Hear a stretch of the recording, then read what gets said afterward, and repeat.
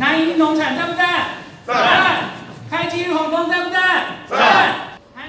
南市政府新年明地市政中心的一楼大厅，十月十七号一早就客满了一侪民意代表，含着黄铁市长，大家徛伫个一箱一箱的金蕉头前，做伙来翕相。因为这金蕉每一条拢充满着爱心，是由着南营农产公司和提供庙所来完成的。帮我们南营农产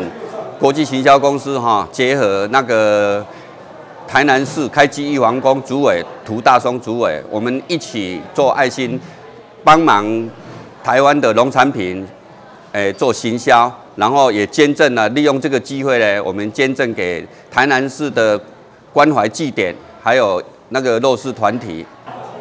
今天我们很开心哈，也抱着感谢的心，感谢我们开基玉皇宫跟我们南营农产运销公司来这个准备五百箱十五公斤的这个香蕉。像我们南溪还有以及高雄屏东的农民来购置的这些香蕉，来给我们社福团体，而且我特别强调，这个购置是依照市价购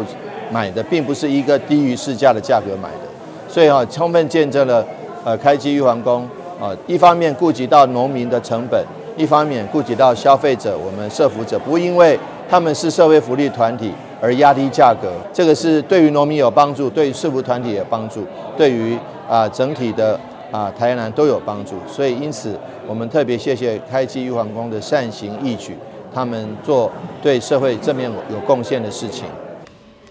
提供描述的关键的金蕉需要也来增加到八百箱，我们的市长特别颁发的感谢章，感谢因将这份爱心送到本市的老人、身心障碍者、儿少福利机构，含着社区照顾据点。